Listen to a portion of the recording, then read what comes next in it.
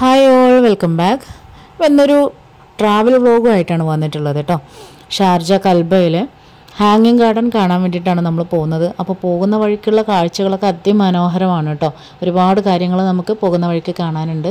അപ്പോൾ യു എയിൽ നല്ലൊരു മഴയൊക്കെ കഴിഞ്ഞതിന് ശേഷം നമ്മളുടെ മരുഭൂമിയൊക്കെ ഇതുപോലെയാണ് ഇരിക്കുന്നത്. ഫുള്ള് ഗ്രീനിഷാണ് കേട്ടോ ശരിക്കും ഇതൊരു അത്ഭുതപ്പെടുത്തുന്ന കാഴ്ച എന്ന് തന്നെ പറയാം കേട്ടോ ഇപ്പോൾ ഇവിടെ യു എയിൽ സമ്മർ സീസണാണ് അപ്പോൾ ആ ഒരു ടൈമിൽ ശരിക്കും നല്ലതായിട്ട് കാറ്റും മണലും ഒക്കെ ആയിട്ടുള്ള ഒരു മണൽക്കാറ്റും കാര്യങ്ങളൊക്കെ ആയിട്ടുള്ള ഒരു ടൈമാണ് അപ്പോൾ ആ ഒരു സമയത്താണ് ഈ ഒരു മരുഭൂമി കംപ്ലീറ്റ് നമുക്ക് മണൽ അത്രയും കാണാൻ പറ്റാത്ത രീതിയിൽ ഇങ്ങനെ പച്ചപ്പ് പിടിച്ച് കിടക്കുന്നത്. അതുപോലെ തന്നെ മലകളും കുന്നുകളും ഒക്കെ ഇങ്ങനെ പച്ച വിരിച്ചാണുള്ളത് കേട്ടോ. അപ്പോൾ അതൊരു കൺകുളിർക്കുന്ന കാഴ്ച എന്ന് തന്നെ പറയാം. പിന്നെ പോകുന്ന വഴിക്ക് നമുക്ക് ഒരുപാട് അരുവികളും ഇങ്ങനെ വെള്ളം ഉറവ പോലെ വരുന്നതും ഒക്കെ കാണാം. അപ്പോൾ നമ്മൾ പോകുന്ന വഴിക്ക് ഇതാ നല്ല രസമുള്ളൊരു കാഴ്ചയാണിത്. അപ്പോൾ നമ്മളിവിടെ ഇങ്ങനെ വണ്ടി നിർത്തി നിറയെ വെള്ളം നിൽക്കുന്നുണ്ട് കേട്ടോ. നല്ല ആഴത്തിൽ തന്നെ ഉണ്ട് ഈ ഒരു വെള്ളം. അപ്പോൾ അവിടെ ഇറങ്ങി നമ്മൾ പോകുന്നത് ഒരു നാല് മണിക്കാണ് വീട്ടിൽ നിന്ന് ഇറങ്ങിയത്. അജുമാനിൽ നിന്ന് നമ്മൾ കൽബയിലേക്ക് ഒന്നര മണിക്കൂറത്തെ റണ്ണിങ് ഉണ്ട്. അപ്പോൾ നമ്മളിവിടെ ഇറങ്ങി കൈയും കാലും ഒക്കെ മുഖമൊക്കെ ഒന്ന് കഴുകി ഒന്ന് ഫ്രഷായി അപ്പോൾ നമ്മൾ പോകുന്ന വഴിക്ക് ഇതുപോലെ ചെറുതും വലുതുമായിട്ടുള്ള ഒരുപാട് വെള്ളങ്ങളൊക്കെ നമുക്കിങ്ങനെ കാണാൻ പറ്റും കേട്ടോ ഒഴുകുന്നതും കെട്ടി നിൽക്കുന്നതും ഒക്കെ ആയിട്ട്. നാട്ടിലൊക്കെ നമ്മൾ യാത്ര ചെയ്യുമ്പോൾ കാണുന്ന സ്ഥലം പോലെ അതായത് നാട്ടിലൂടെയൊക്കെ യാത്ര ചെയ്യുന്ന പോലെയാണ് നമുക്ക് ശരിക്കും ഈ ഒരു സമയത്ത് ഈ ഒരു കൽബയിലേക്ക് പോകുമ്പോൾ നമുക്ക് തോന്നുന്നത് കേട്ടോ അപ്പോൾ ഇതുണ്ട്? ഇതൊക്കെ ഇങ്ങനെ ഓരോ വെട്ടി വരുന്ന വെള്ളമാണ്. അപ്പോൾ ഇതൊക്കെ ശരിക്കും ഒരു ഭയങ്കര ഒരു അത്ഭുതം തന്നെ പറയാം ഈ ഒരു സമയത്ത് യു എയിലെ ഈ ഒരു കാഴ്ച എന്ന് പറയുന്നത് കേട്ടോ ഈവനിങ്ങിൽ നിങ്ങൾ കൽബ ഹാങ്ങിങ് ഗാർഡൻ കാണാൻ വേണ്ടി പോവുകയാണെന്നുണ്ടെങ്കിൽ നിങ്ങൾക്ക് പകലിലുള്ള കാഴ്ചയും അതുപോലെ തന്നെ രാത്രിയിൽ ലൈറ്റൊക്കെ തെളിഞ്ഞിട്ടുള്ള കാഴ്ചയും കൂടെ നമുക്ക് എൻജോയ് ചെയ്യാം. പോകുന്ന വഴിക്ക് ഈ ഒരു അരുവിയുടെയൊക്കെ തീരത്ത് ഒരുപാട് പേര് വണ്ടിയെല്ലാം നിർത്തി അവിടെ ഇങ്ങനെ പായയും ചെയറൊക്കെ ഇട്ട് ഭക്ഷണം കഴിക്കുന്നതൊക്കെ നമ്മൾ കാണുന്നുണ്ടായിട്ട്. അങ്ങനെ ഒരുപാട് പേര് അവിടെ ഇവിടെയൊക്കെ ആയിട്ട് ഇങ്ങനെ ഇരിക്കുന്നുണ്ട്. അപ്പോൾ അങ്ങനെ ആ ഒരു ഭാഗം എൻജോയ് ചെയ്യുന്നവരും ഒരുപാട് പേരുണ്ട്. പിന്നെ ഇതൊക്കെ നല്ല രസമുള്ള കാഴ്ചട്ടോ. ഒരുപാട് മരങ്ങളും പിന്നെ ചെറിയ ചെറിയ ചെടികളും പച്ചപ്പും നിറഞ്ഞ് നല്ല രസമുള്ളൊരു യാത്ര എന്ന് തന്നെ പറയാം. നല്ല എൻജോയ് ചെയ്തിട്ടുള്ളൊരു യാത്ര തന്നെയായിരുന്നു കേട്ടോ. ഈ ഒരു കൽബ ഹാങ്ങിങ് ഗാർഡനിലേക്ക് പോകുമ്പോൾ ഇങ്ങനെ പോയിക്കൊണ്ടിരിക്കുമ്പോൾ ഒരു ടണൽ കാണാം. അങ്ങനെ ഈ ടണൽ കഴിഞ്ഞ് കടന്ന് നമ്മൾ നേരെ എത്തുന്നത് തന്നെ ഹാങ്ങിങ് ഗാർഡൻ ആണ് കൽബ ഹാങ്ങിങ് ഗാർഡനിലാണ് അപ്പോൾ അവിടെ നമുക്ക് ഒരു നമ്മളെത്തുന്നത് അഞ്ചരക്കാണ്. അത് കാരണം തന്നെ താഴെ നമുക്ക് പാർക്കിങ്ങിന് സ്പേസ് കിട്ടിയില്ല. പിന്നെ താഴെ പാർക്കിംഗ് ഫുള്ളാവുന്ന സമയത്ത് നമുക്ക് ഈ ഒരു മലയുടെ ഏറ്റവും ടോപ്പിലാണ് പിന്നെ നമുക്ക് ഈ പാർക്കിംഗ് കിട്ടുന്നത് കേട്ടോ. അപ്പോൾ താഴെ നമുക്ക് പാർക്കിംഗ് കിട്ടിയില്ല. അപ്പം ഞാനും മോളും ഇവിടെ ഗേറ്റിന് അവിടെ ഇറങ്ങി ഹസ്ബൻഡ് വണ്ടി മുകളിലേക്കായിട്ട് പാർക്ക് ചെയ്യാൻ വേണ്ടിയിട്ട് പോയി. അപ്പോൾ ആ സമയം കൊണ്ട് ഞങ്ങൾ അകത്ത് കയറി കുറച്ച് ഫോട്ടോസും വീഡിയോസൊക്കെ എടുത്തു. അപ്പോൾ ഇത് തുടങ്ങിയ സമയത്ത് ഇതിലേക്ക് എൻട്രി ഫീസൊന്നും ഉണ്ടായിരുന്നില്ല. ഇപ്പോൾ എൻട്രി ഫീ എന്ന് പറയുന്നത് ഫൈവ് ദിറമാണ്. എനിക്ക് തോന്നുന്നു രണ്ട് മണിക്കും മൂന്ന് മണിക്കൊക്കെ എത്തിയവർക്കായിരിക്കാം ഈ താഴെ പാർക്കിംഗ് കിട്ടിയിട്ടുണ്ടാവുക കേട്ടോ. ഏറ്റവും മുകളിലാണ് നമുക്ക് പാർക്കിംഗ് കിട്ടിയിട്ടുള്ളത്. അപ്പോൾ അവിടുന്ന് ഇനി പാർക്ക് ചെയ്ത് താഴേക്ക് ഈ കാണുന്ന സ്റ്റെപ്പിലൂടെ താഴേക്ക് ഇറങ്ങി വരികയാണ് ചെയ്യേണ്ടത്. ആ ഒരു വെള്ളച്ചാട്ടത്തിന്റെ സൈഡിലൊക്കെ ആയിട്ട് കുറേ സ്റ്റെപ്സ് കണ്ടല്ലോ. അപ്പോൾ അതിൽ കൂടെയാണ് നമുക്ക് താഴേക്ക് ഇറങ്ങി വരേണ്ടത്. അങ്ങനെ ഞങ്ങൾ വെള്ളത്തിന്റെ അടുത്തേക്ക് എത്തി. ആ വെള്ളം അങ്ങനെ ചാടുന്നതാണ് നല്ല രസമുണ്ട് കേട്ടോ.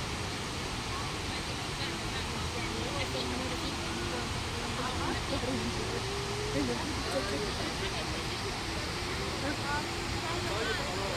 you. ഒരുപാട് സമയം ആ വെള്ളം ചാടുന്നത് നോക്കി അങ്ങനെ നിന്നു. ആ വെള്ളം ചാടുന്നതിന്റെ സൗണ്ടും അതുപോലെ അതിങ്ങനെ ക്രിയേറ്റ് ചെയ്ത് വെച്ചിട്ടുള്ളതിന്റെ ഒരു ഭംഗിയും ഒക്കെ നോക്കി കുറേ സമയം ഇങ്ങനെ നിന്നു കേട്ടോ.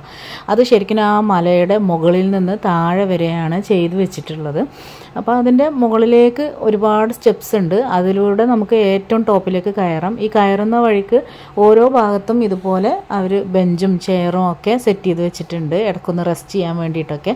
അതുപോലെ ഈ വെള്ളം ചാടുന്നതൊക്കെ നമുക്കൊന്ന് ആസ്വദിച്ചിരിക്കാൻ വേണ്ടിയിട്ടൊക്കെ. അപ്പോൾ ഇവിടുന്ന് നമുക്ക് ചുറ്റിനും നോക്കുമ്പോൾ കാണുന്നതൊക്കെ നല്ല രസകരമായിട്ടുള്ള കാഴ്ചകളാണ്.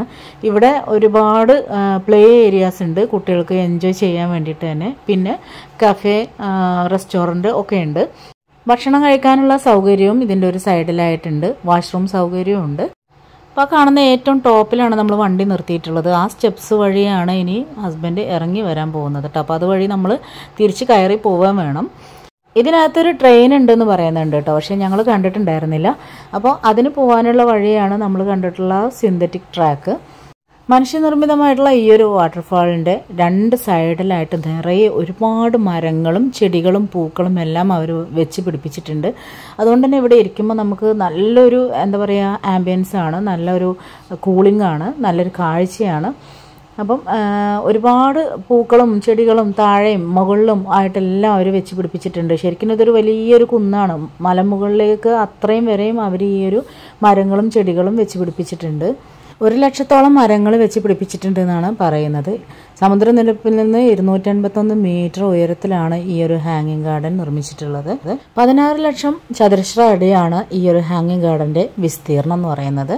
ഈ ഒരു ഹാങ്ങിങ് ഗാർഡനിലെ കാഴ്ചകളൊക്കെ കണ്ട് നമ്മൾ ഹാങ്ങിങ് ഗാർഡനിൽ നിന്ന് പുറത്ത് കിടക്കുമ്പോൾ വാഹനമായിട്ട് തിരിച്ച് നമ്മൾ പുറത്തേക്ക് ഇറങ്ങുന്ന സമയത്ത് നമുക്ക് വരുന്ന വഴിക്ക് അതായത് ഈ ഹാങ്ങിങ് ഗാർഡനിൽ നിന്ന് പുറത്ത് കിടക്കുന്ന സമയത്ത് ആ ഒരു ഭാഗത്തായിട്ട് അൽ ഹഫിയ എന്നുള്ള പേരുള്ള നാല് നാല് മീറ്റർ താഴ്ചയുള്ള ഒരു തടാകമുണ്ട് അപ്പോൾ അവിടെയും നമുക്ക് പോയിട്ട് ഒരുപാട് ടൈം സ്പെൻഡ് ചെയ്യാം ബോട്ടിംഗ് ഉണ്ട് എല്ലാം ഉണ്ട് കേട്ടോ. അപ്പോൾ അത് ഞങ്ങൾ രാത്രി ആയതുകൊണ്ട് ആ ഒരു തടാകത്തിന്റെ ഭംഗി മുഴുവനായിട്ടും നമുക്ക് ഈ ഒരു ക്യാമറയിൽ പകർത്താൻ പറ്റിയിട്ടില്ല.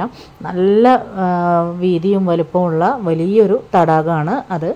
അപ്പോൾ ഇതിനകത്തെന്ന് പറയുന്നത് റണ്ണിങ് ട്രാക്കും ഉണ്ട്. പിന്നെ അതുപോലെ തന്നെ നമുക്ക് പ്രെയർ ഏരിയ ഉണ്ട്. അങ്ങനെ നമുക്ക് പുറത്തു നിന്ന് ഫുഡ് നമ്മുടെ വീട്ടിൽ നിന്നാണെങ്കിലും അല്ലെങ്കിൽ പുറത്തു നിന്നൊക്കെ ഫുഡ് കൊണ്ടുവന്നിട്ട് നമുക്ക് ഇതിനകത്ത് ഇരുന്ന് കഴിക്കാനുള്ള സൗകര്യങ്ങളും എല്ലാം ഉണ്ട്. പിന്നെ ഇതിന്റെ സ്റ്റെപ്സ് എന്ന് പറയുന്നത് ഫുള്ളായിട്ട് മരങ്ങൾ കൊണ്ട് തീർത്തിട്ടുള്ളതാണ് ഇതിന്റെ കൈപ്പിടി എന്ന് പറയുന്നത്. പിന്നെ കല്ലും മണ്ണും ഒക്കെ വെച്ചിട്ട് തയ്യാറാക്കിയിട്ടുള്ളതാണ്. അതുകൊണ്ട് തന്നെ ഇതിനകത്തൂടെ അങ്ങനെയൊക്കെ നടന്നു പോകുമ്പോൾ നല്ലൊരു ഫീലാണ് കേട്ടോ പിന്നെ വലതു ഭാഗത്തായിട്ട് മുഴുവനായിട്ടും ഫുള്ളായിട്ട് ചെടികളും മരങ്ങളും ഒക്കെയാണ്. ശരിക്കും നമുക്കിത് ഒരു എന്താ ഗൾഫ് കൺട്രി ആണെന്ന് തോന്നുകയില്ല ഇതിൽ കൂടെ നടന്നു പോകുന്ന സമയത്ത്. അപ്പോൾ അതാ നമ്മൾ കുറേ മുകളിലെത്തിയിട്ടുണ്ട്. മുകളിൽ നിന്ന് താഴേക്ക് നോക്കുമ്പോഴുള്ള കാഴ്ച ഇങ്ങനെയാണ്.